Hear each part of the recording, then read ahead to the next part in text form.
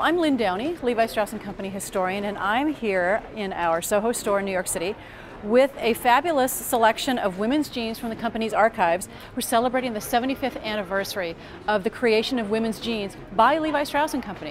In 1934, Levi Strauss & Co. created Lady Levi's, Lot 701. You'll remember the men's were Lot 501.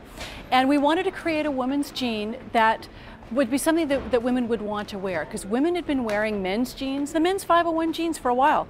So what we decided to do was give them something that was a softer weave, something that was pre-washed with a little more feminine cut. And this is an example from the archives of the very first Lady Levi's. This pair is from about 1937. It's a little bit of a high waist, um, a little bit wide in the hips, also, but still has the wide leg just like the men's jeans do. We wanted to give a feminine flair with the original sort of masculine attributes of the 501. So it's got the buckle back on the back, the way to adjust the pants perfectly. It even has a button fly, just like the 501.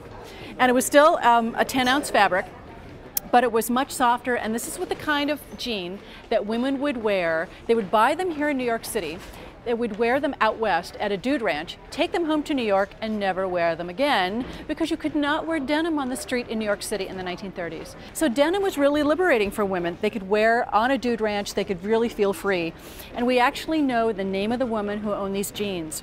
Her name was Harriet Atwood she put her label inside the waistband on top of the store label. She wore them at the Soda Springs Dude Ranch in Rimrock, Arizona in the 1930s and for some reason left them behind and I bought them when the effects of the old Dude Ranch came up for sale. I bought them for our company archives. The thing that I always hear from people is, oh my gosh, I had no idea that you made jeans for so long or that you even made this kind of jeans. It's always a really fun educational experience to be able to talk to people and have them um, really understand that Levi's not only invented the first men's jean, but invented the first women's jean. The big thing right now that Levi's is offering our consumers, of course, is the skinny fit.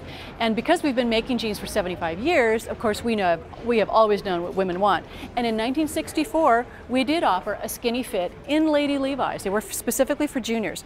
This pair still has the tag on it, the long, lean Levi's look. It's very much a skinny jean compared to the, the wider leg original Lady Levi's. So this is the original skinny. It's literally from 1964. And we even started using stretch in our jeans in the 1960s. We put a little bit of DuPont nylon into our jeans. And so this was the, really the, uh, this is the, the mom, the, the, the, the mother of, the, of today's skinny jeans, Lady Levi's for juniors. Well, the 60s were all about a skinny for junior girls, but by the early to mid 70s, it was all about flare. And we made so many flares for junior girls in the 1970s. Here's a great example. And we even did this pin tucking at the factory. This is the style as it came off the shelf for the consumer and probably in about 1975, 1976. So this really represents um, teenage girlhood in the 1970s. So these are all from the archives in San Francisco. It represents 75 years of Levi's uh, women's jeans. So those are the those are the 70s all the way up to 1937. So, yeah, skinny from the 60s. World War II, and Dude Ranch era 1930s. I love doing this. I love to talk to people about our history because I always there's always someone or usually more than one someone that I connect with who really who really loves the whole sense of you know the power of denim in American culture. And that's what I get to talk to people about. It's great. These are from Oh yeah, these are all originals from our company archives oh, in San Francisco. They haven't been worn. Oh yeah, yes. these are worn. These belong to but a. still look great. I know. That's the quality of Levi's jeans. I'm hoping what people will really be interested in is the jeans from 1934 um, because people won't really understand um, how long we've been making vintage denim. And then I, what I'm hoping as well is for people to see really how contemporary a lot of these looks are because so many of these are brought forward today. In fact, this really, the, the Lady Levi's from the 1930s could really be seen to be the, you know, the grandmother of the boyfriend fit today. You know, the button fly, sort of oversized boyfriend fit. So what you're seeing here is, just, is the DNA of today's jeans for women.